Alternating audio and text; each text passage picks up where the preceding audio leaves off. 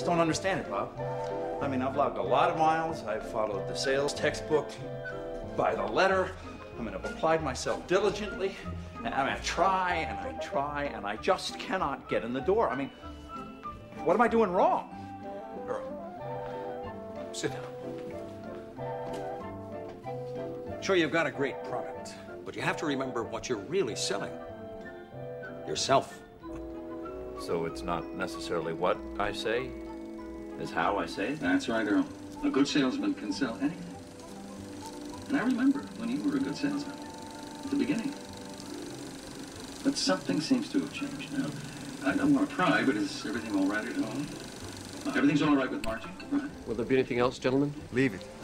You haven't to tell me anything. Just leave it. Yes, sir. But what I have to point out to you Thank you.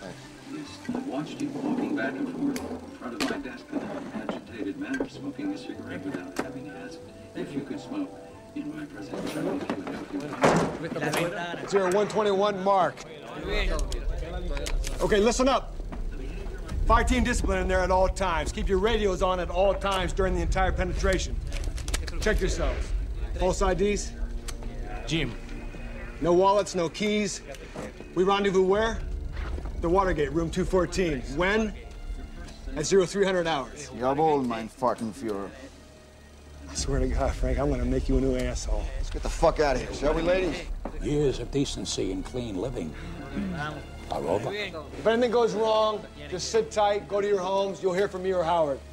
Personally, if anything goes wrong, I'll be calling the President of the United States. And I'm not just going to be a good salesman. No, doggone it. I'm going to be a great salesman. That's the spirit. Thanks. And remember, Earl, always look him in the eye. Nothing sells like sincerity.